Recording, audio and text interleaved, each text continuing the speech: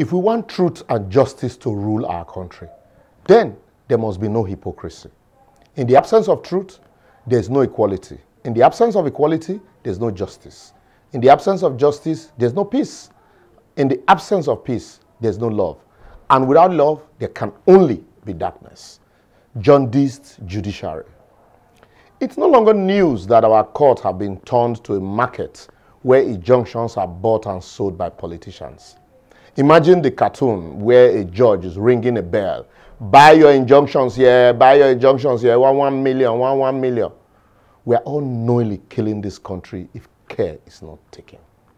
In a week, PDP obtained three different conflicting interim injunctions from three different courts of coordinate jurisdiction on the same level. One from Port Harcourt, another one from Kebbi, and the last one from Calabar, all within one week. Maybe as I talk now, Seth, they go not go get another one from Sokoto, Benue, and Bauchi State. Yet, minor cases are warehoused in courts for years. Sado, Yoruba say, oh, Masheo. This is not to take away the efforts of the hard-working judges, but please, these interim injunctions are becoming questionable and ridiculing the entire effort of the hard-working ones. NJC, please do something. Anyway, someone said, what can even the NJC do when Supreme Court made a man who came fourth in an election governor in Imo State? And neither the state nor the Supreme Court governor has known peace since then. Did it? How about Zafar and Bayelsa State? The Supreme Court took the people's mandate given at the poll and gave it to PDP that didn't win. And today, the same PDP governor has jumped to APC. Jumpology, you will say. In reverse, the court was used to qualify the op opposition, APC, even before the election. So nobody's left out, even the NJC. Last year, it was the turn of APC to harvest injunctions to remove the then chairman of the party, my very loquacious brother, Comrade Adams Oshiomhole. He didn't know that while he was busy talking, his ward chairman from his village has rushed to Abuja to fish for an interim injunction to remove him from office. And before we knew it, a contrary order emerged from Kano High Court. And today, you all know the rest of history. So fear your village people. Mind you, all of this didn't start today. Remember, the 1999, 1993 June 12th general election was annulled via an ex parte order, so it don't take. Of all the various appeals that emanated from the various decisions of the Election Petition Tribunal after the 2015 and 2019 general election, only God knows how many of the decisions were conflicting until the Supreme Court resolved them one way or the other. Some of the judges blame the provisions of paragraph 18.1 of the first schedule of the Electoral Act for these anomalies, even though it shouldn't be an excuse. Also, in 2015, immediately after the general election, we saw the shameless fight for the soul of PDP, aided by the Federal High Court in Port Harcourt, Lagos, and Abuja. While Justice Liman in Port Harcourt issued his order on Monday, Justice Ibrahim Buba of the Lagos Division issued a conflicting order on Tuesday before it subsequently became a one-week one injunction as Abuja joined the fray until Supreme Court gave it to former Governor Ahmed Makarfi of Kaduna State. Even as the Court of Appeal was also serving conflicting orders in election petition. Though for PDP, some people expected the former governor, President, uh, former President, uh, President Goodluck Ebele Jonathan, to use his good luck to settle the crisis in the party then and now so that they can give us a credible alternative. A party that gave him so much. Or maybe he's busy settling various crises in Africa. I would learned the APC is cutting him to fly their flag come 2023. If the rumor is true, he shouldn't just bother because the way APC go take disgrace that man, the small credibility when he own, I they want destroy. After they use Buhari to destroy the entire country.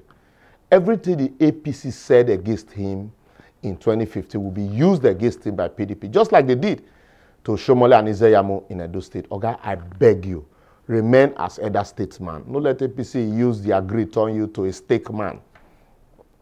Name one state actually in Nigeria that is not marred by elect conflicting election injunctions from courts of coordinate jurisdiction, aided by senior lawyer once elections are approaching. It became so bad that even the INEC, Independent National Electoral Commission, had to cry out to the Chief Justice of the Federation recently over conflicting judgment served on them in various matters. As I speak, almost all the political parties in the forthcoming election in Anambra State are enmeshed in one court case or the other, looking for where to fish for injunction. If these are happening at the highest level, you can imagine the quagmire at the bottom. And mind you, in most cases, lawyers like me are the causes of the laughable rot we have turned the administration of justice in Nigeria into. It is so bad that litigants are no longer confident or comfortable taking their cases to court, and some now resort to self-help.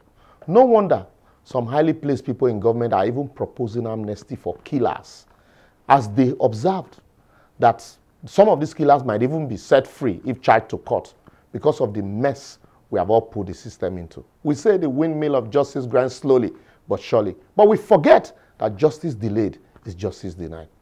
As we all keep quiet when it benefits us and only complain when it's against us. The judiciary that is supposed to be the last hope of the common man has been turned into the first hope of the politicians against the collective will of the common man. You can't turn the court to a marketplace where judgment and orders are purchased by the highest bidder and expect a sane, expect a sane society and environment anchored on justice, equity, peace, and progress. Na kole work. I will therefore advocate that if we must progress as a nation, we must have a judiciary that is ready to look anybody in the face and dispense justice without fear or favor. And to achieve that, we must jettison the idea of nepotism and favoritism in appointment and elevation of members of the bench and appoint competent and credible hands. Like we say in law, nemo dat quod non habet. You can't give what you don't have. Garbage in, garbage out. The Nigerian Bar Association, NBA, must also be ready to stand its ground and discipline erring lawyers who are used to file frivolous lawsuits.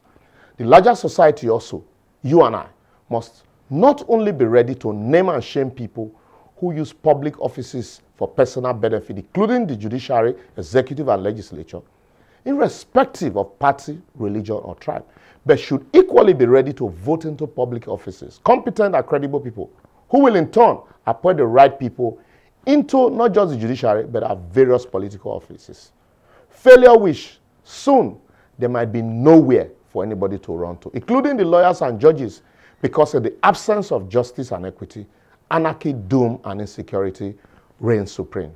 Remember, when a judge sits on trial, the judge is on trial. If you have just clocked 18, like I always say, go and register to vote because that's the only way you can make a difference. Until next week, for more and previous episodes, follow us on all our social media platforms so showing on your screen. Subscribe, like, share till they hear, and leave a comment. See you next week. Bye bye.